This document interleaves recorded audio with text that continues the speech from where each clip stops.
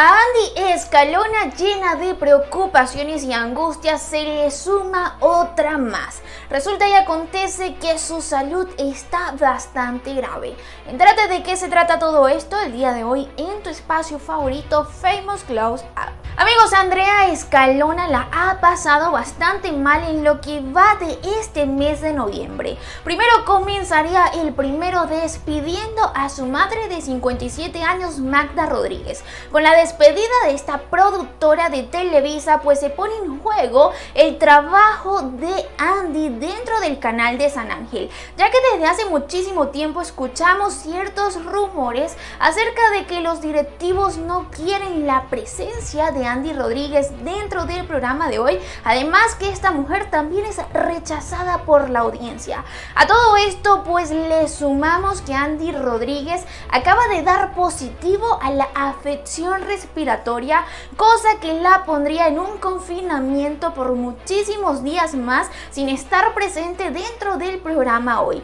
De por sí, pues su presencia no valdría de mucho, dado que como les comenté estaría completamente en juego. Sin embargo, hay otro proyecto en el que está trabajando Andy Rodríguez que se llama Cuarentinorio Cómico. Es una obra de teatro que se está llevando a cabo en Ciudad de México. Pero lo contundente de todo este asunto es que en el momento que falleció Magda Rodríguez, por el mismísimo productor se conoció la noticia de que no iban a cancelar ni mucho menos a retrasar pues estas obras de teatro, dado que Andy Escalona no era una pieza fundamental dentro de este proyecto y pues que incluso ya estarían buscando sacarla por alguien quien esté más joven y que tenga un mejor cuerpo. El día de hoy el productor de esta obra de teatro se pronunció al respecto para darnos esta noticia y esto fue lo que nos dijo Alexander Go. Como del Tenorio Cómico es mi obligación informar que Andy Escalona salió positivo a la enfermedad.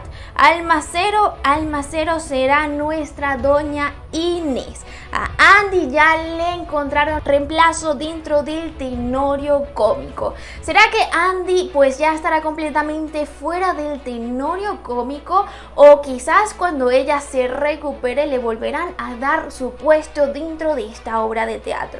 Por otro lado, pues la que se pronunció al respecto en el programa de hoy fue Andrea Legarreta quien también pasó por esta misma circunstancia hace exactamente un mes cuando Magda todavía seguía con vida.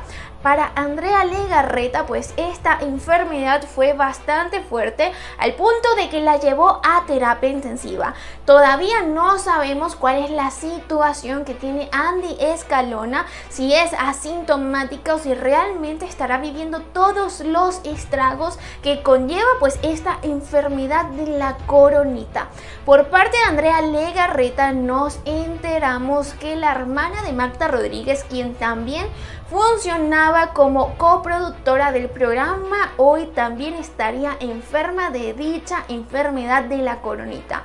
Prácticamente pues las dos personas que están con un pie afuera de Televisa no podrán asistir en los días más cruciales para definir cómo se llevará el programa. Actualmente pues pusieron como productor temporal a Nuno, quien también dirige otros programas dentro de Televisa, pero como por ahí lo han dicho, Nuno no le debe exclusividad a nadie y en cualquier momento pueden echar a Andrea Escalona y Andrea Rodríguez.